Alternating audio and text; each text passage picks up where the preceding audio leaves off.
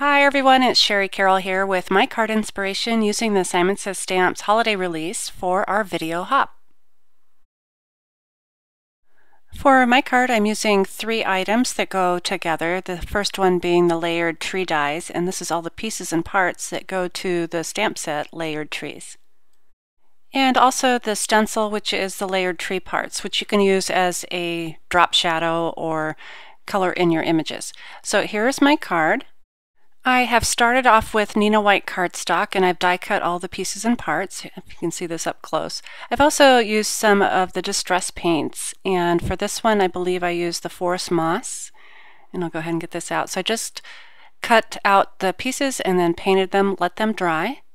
And once they were completely dry, then I got the Distress Crackle Paint Rock Candy and I allowed that to go ahead and dry and crackle. And once that was dry, I went in with a little bit of picket fence paint to add some snow.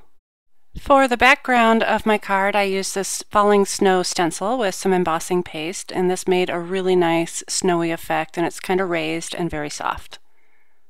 I also used the curve edge steel die to cut the corner, and then I added some Tim Holtz uh, holiday paper, and also stamped my greeting on a little piece of paper and raised everything up with dimensional foam dots.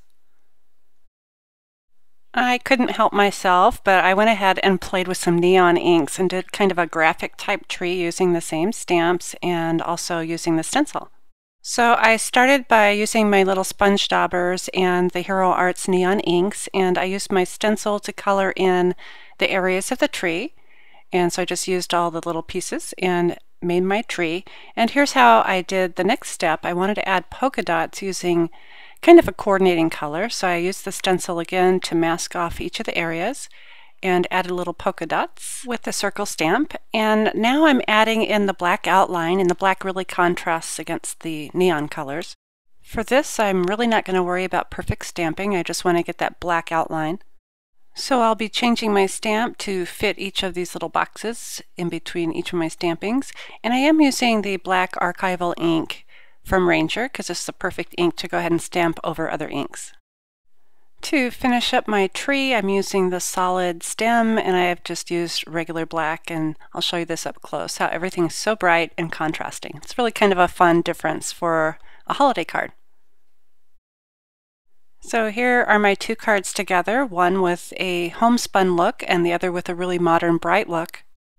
I just love the differences that you can get with the same supplies, but maybe changing up your inks or paints.